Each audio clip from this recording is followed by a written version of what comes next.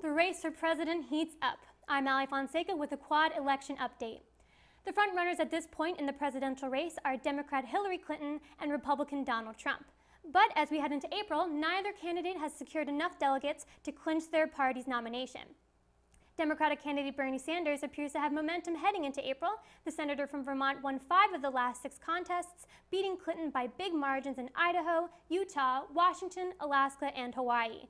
Clinton has won only two western states so far, Arizona and Nevada. Still, with strong support from southern states, Clinton remains well ahead of Sanders in the overall delegate count. On the Republican side, Donald Trump holds a commanding lead over his nearest rival, Texas Senator Ted Cruz.